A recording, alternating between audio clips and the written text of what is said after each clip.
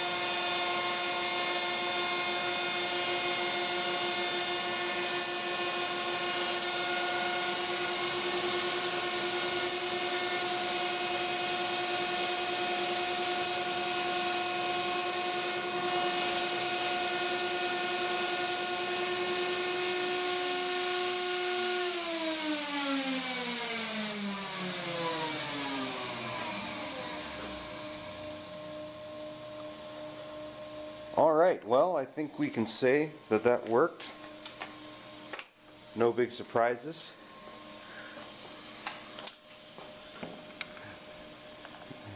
I just cut about 25 thousandths. It's pretty uniform across the whole thing except for down in this corner where it vanishes a bit. Hopefully that's visible. The dust collector seems to have mostly worked. There's still some crap on the table, but I'd say it did pretty well.